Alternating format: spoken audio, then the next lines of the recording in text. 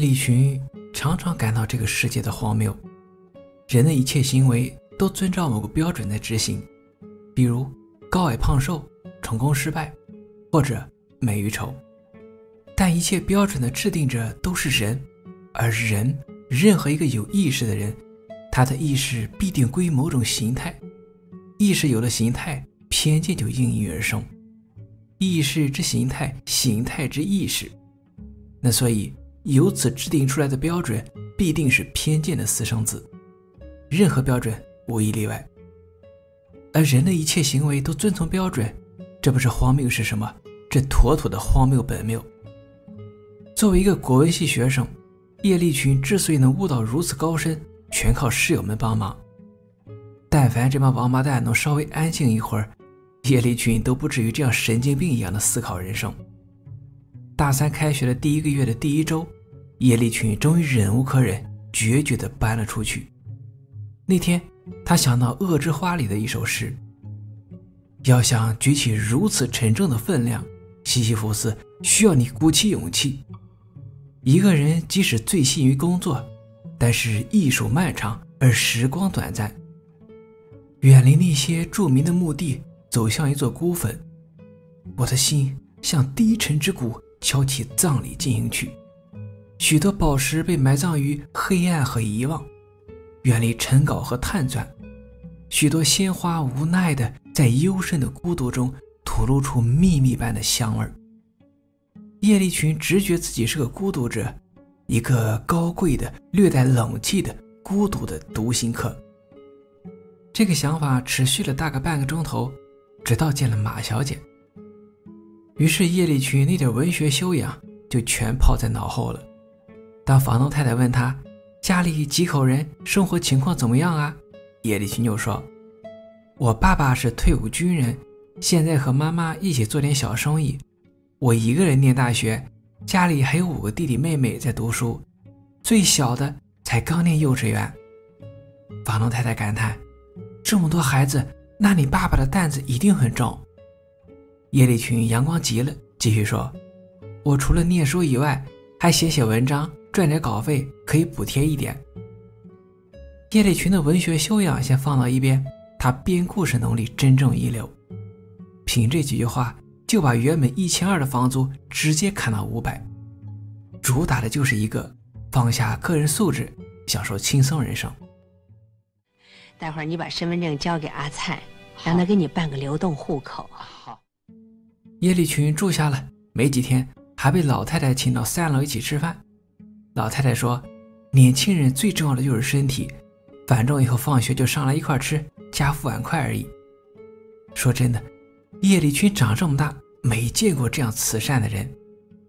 他不由得又想起一首诗，那首诗的名字叫《永远如此》。你哪里来的这奇怪的忧愁？你问。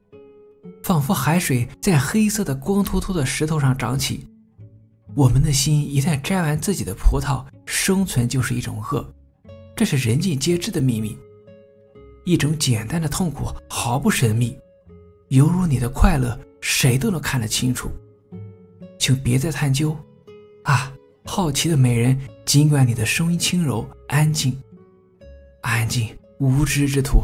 永远兴高采烈的灵魂，孩子般发笑的嘴，死亡比生命更甚，常常用纤细的绳索捆住我们。那就，那就让我们的心陶醉于幻想，沉醉于你美丽的眼睛，犹如沉浸于一个美梦，并且在你的睫毛的阴影下长眠。有那么两周过去，搬家的新鲜劲儿消失的差不多了，叶利群跟这里的租客几乎都熟络起来。他第一个认识的是二楼的电器行员工李红星，这家伙干的销售工作，嘴跟租来的一样，得不得见人就喷。叶利群刚搬来第一天，李红星就擅自闯进来推销相机、脚架，反正各种乱七八糟的玩意儿。看叶利群没兴致，就改口说他爱好摄影，请叶利群帮他鉴赏一下影集。叶利群客套说：“你是很有才华的，真的，我一眼就能看出来。”李永兴谢子喷了一箩筐，转头奔到隔壁，跟两个女工说：“作家请我们出去拍照，你们去吗？”叶利群是后来才知道，这家伙喜欢其中一个女工，但那女工一看就喜欢叶利群，于是这就那天会面是够尴尬的。考虑到李红星请客，叶利群又顺水推舟做个好人，大大方方的跟女工说：“李红星喜欢你。”后来怎样，叶利群没注意，反正那俩女工是没再骚扰他了。但这并不意味着他很闲。楼下住着一个退休公务员秦先生，他总三番五次的找叶利群送信。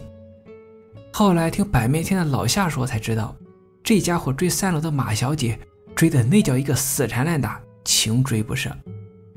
说起来，秦先生条件是不错的，孤家寡人，无牵无挂，退休工资也花不完。唯一缺点就是人老了点谈吐嘛，看着有点猥琐。交给马小姐。请你替我保密好不好？不管他怎么说。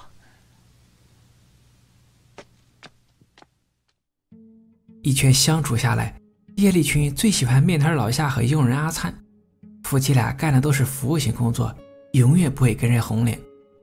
不像新国叔，打着老太太亲戚的名义，在家里横行霸道，谁也惹不起。据说他也就来了两三年，不知怎么就住下来。跟着吃，跟着住，还赌钱，死赌。老太太帮他还了不下三次赌债了，屁用没有。刚来那会儿，因为点小冲突，叶立群还被他捶了两拳，呀，叫嚷的厉害，四五个人都差点没拉住。说实在的，要不是看在房租的份上，叶立群早削他两遍了都。好在这厮成天不着家，大伙也就眼不见心不烦，随他去了。蔡先生说。恶人自有恶人磨，这种东西迟早被人收拾。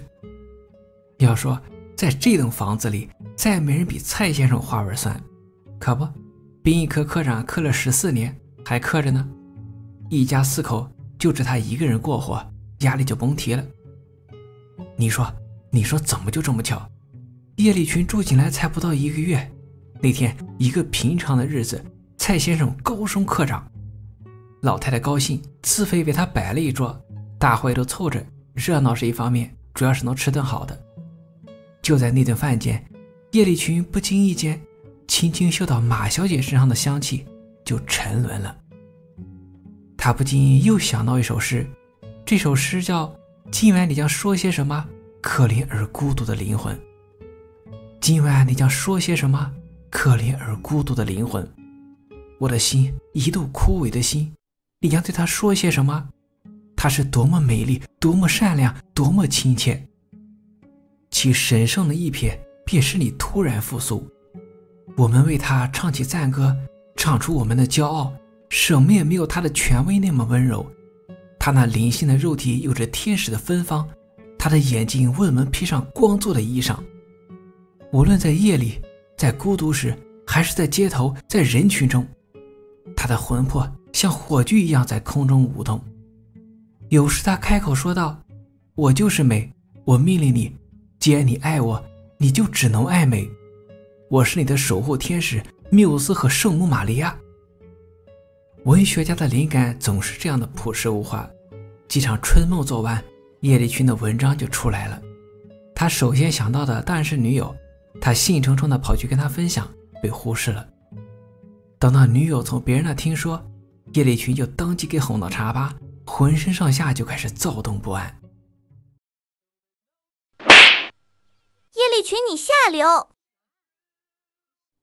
这一巴掌打的叶立群好疼哦，说是被动也好，主动也罢，总之，叶立群在学校的时间越来越短，越来越短，他成了马小姐的私人英语老师，贴身的那种。好几天了。叶立群每次都期待发生点什么。他曾瞥过马小姐的内衣，偷偷看过她的大腿、她的小腿，看她身上能看到的一切一切。但什么也没发生，就只是学英语。重音该怎么念，连读该怎么读，叶立群有些丧气，更多的是失落。直到某天，他随口问出一个问题：“马小姐，你为什么找我教你？”马小姐说。因为你像我死去的弟弟，叶立群直觉他在开玩笑，他实在是不想，更不愿做他的弟弟。看过照片，叶利群信了。一股莫名其妙的气氛晕染开来，带着伤心的泪水，混着暧昧的试探。房间里不见 A、B、C，就只有卿卿我我和黏黏腻腻。至此重要时刻，又一首诗涌在叶利群的脑海。那首诗的名字叫《赞美诗》。像最亲爱的、最美的女人，她使我的心充满光明；像那天使、那不朽的偶像。献上不朽的敬意，它弥漫于我的生活，犹如浸透了盐的空气。它给我饥饿的灵魂注入对于永恒的偏爱，永远新鲜的香囊染香了这可爱小屋的空气。它被遗忘的香炉冒着穿透黑夜的烟。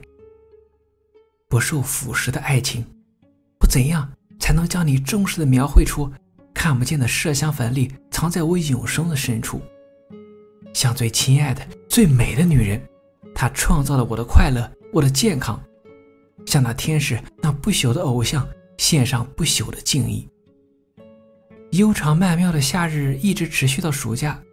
如果不是老太太执要叶丽君回家探亲，她真的一刻不想离开她。哪怕临行前，两个孤独的灵魂还躲在房间聊了两个多钟头。李红星来催的时候，叶丽君下床的费劲儿。他哆哆嗦嗦爬上摩托车，随口说：“其实我自己也可以的。”李红星说：“不不，我一定要送你，我要谢谢你，知道吗？小丽给我写信了，说她想通了，她跟大学生不合适，还是跟我更般配。”叶立群客套着尬笑两声，忙一把推开摩托车说：“送到这就行了，赶紧回去。这种事啊，要趁热打铁。其实什么趁热打铁？”他不过是有约在先。火车一趟一趟的开进来，开出去，怎奈离人情浓，难舍难分。最后叶丽群想通了，两情若在久长时，又岂在朝朝暮暮。其实叶丽群始终没想通，为什么老太太执意要他回来。直到看到三封信，五千块钱，他的脸就红了。那点小心机，他的确有些无地自容。爸妈都问他。弟弟妹妹怎么回事？哪里的弟弟妹妹？爸爸奇怪，难道说你妈妈在外头？妈妈更奇怪，你爸他？叶立群微微一笑，爸妈就懂了。华姐是三天后来的第一封信，出于意料，她竟然要叶立群的近照。喂，我是马玉华，哪一位啊？声音很小哎。喂，你人在哪里？华姐。这是长途电话，我好想你啊。这里真吵，你能不能大声点？什么？你再大声点好不好？尤其这一时话吵翻了天，你再大声点好不好？我说我好想你，好想你。我等一下再打给你啊。其后来信就没再断过，有时候是真有事儿。比如上周，那个新国叔因为打架进去了，据说判了五个月。还有就是老太太感冒了，精神不大好。有时候就单纯说情话，我想你了，我时时刻刻都在想你，你想我了吗？情意绵绵的悠长假期，跟做梦一样秩序之幻，惹人沉醉，沁人心脾。直到那天，一封加急信说老太太病了，已经住进医院。叶立群就火速赶往台北。事情是大前天出的，老太太摔了一跤，一开始没觉得什么事儿，到医院一检查才发现身上有很多厉害的炎症，原因不明。几乎已经到了傍晚，太阳都快落山了，叶立群才和华姐起床。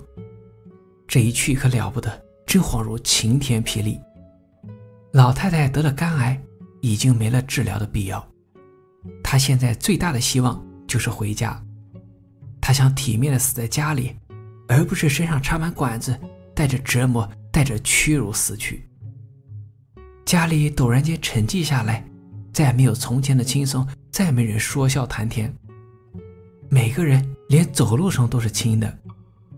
前后不过三天，老太太走了，阿彩哭成了泪人，楼上楼下也全掉了眼泪。葬礼办得很快，按老太太生前交代的。一切从简，一阵秋风吹来，熟悉的一切都还熟悉，可总归不一样了。谁也没有想到，就在这时，就在老太太葬礼结束的第七天，一个惊天大雷落进小院，所有人都炸了。老太太把存款留了一部分给阿灿养老，其余都捐给养老院了。而至于房子，这栋楼，老太太白送。简单的说，现在在租的房间全变成自己的，公共区域公共分摊。席间大家乐得合不拢嘴，一个一个开口闭口都是钱，全变了模样。叶利群当然不在乎他们变没变，只是华姐突然之间远离他。这叫他感到万分惊恐。一首熟悉的诗又涌向脑海，这首诗的名字叫《不可救药》。我们能否平息那古老而长久的悔恨？他活着，焦躁着，扭动着。他靠我们养活，就像蠕虫依靠尸体，就像毛虫依靠橡树。我们能否扑灭那毫不留情的悔恨？在哪种媚药、哪种酒、哪种汤剂里，我们可以噎死这古老的敌人？他像妓女一样致命、贪婪，像蚂蚁一样忍耐，在哪种媚药、哪种酒、哪种汤剂里？说吧，美丽的女巫，如果你知道，就告诉这充满焦虑的世界。他犹如一个被压在伤者下面、被马蹄踩过的垂死之人。说吧，美丽的女巫，如果你知道，就告诉这满目疮痍的爱情。要在临终前。要我答应他，不要再伤害你。夏日远去了，灼人的日光悄然幻变成秋风，嗖嗖往屋里灌。花姐被吹走了，没几天，租客们也被吹得飞舞在天空中，飘来飘去，无根无着。一开始是抢占客厅运动，蔡先生发起的。理由是他家小孩子多，房子住不下，大家跟着都把自己的家具往客厅搬，继而就发展成土地兼并。蔡先生挨家挨户的谈，说他可以高出市价百分之二十收购。李红星第一个不同意，市价他姓蔡的忽悠人，这地段多好，往东是大学，往西是医院，于是就拦着，就伙同他的新女友一块拦着，就天天吵，夜夜闹。直到新国书刑满释放，叶利群不由得又想起一首诗，那首诗的名字叫《交谈》。你是一片秋日的晴空，明亮粉红，但忧愁在我心中像海水一样涌起，退潮时，在我苦闷的唇上留下那苦涩淤泥的灼人的回忆。你的手徒劳地划到我痴癫的胸口，亲爱的，他所探寻的是一个。被女人的爪子和獠牙掠夺过的地方，别再探寻我的心，那些野兽已将它吃掉。我的心是被众人蹂躏的宫殿，他们在那里酗酒、厮杀，互相扯着头发。一阵香气在你裸露的胸脯中周围飘荡。哦，美人，灵魂的坚硬枷锁，轻便吧，请用你节日般明亮的冒火的眼睛，焚烧野兽们留下的这些残片。华姐第一个退出，她把房子送给阿灿，悄无声息的就走了。叶利群本来没想走，但他发现他貌似抵抗不过。新国叔带了十几个人到家里打麻将，弄得乌烟瘴气，连个下脚的地儿都没了。蔡先生毕竟是在职科长，很有些要跟他死扛到底的勇气，所以他还在兼并土地，价格照旧。叶利群怎么办？走不走？不走，连水电费都掏不起了。蔡先生说：“你上个月暗摊五百六十八，下个月估计更多。如果觉得亏的话，你就没事多洗几个热水澡，晚上睡觉时多开几个台灯。睡不着呢，半夜起来用热水洗衣服，那不就行了吗？”叶利群就点头了。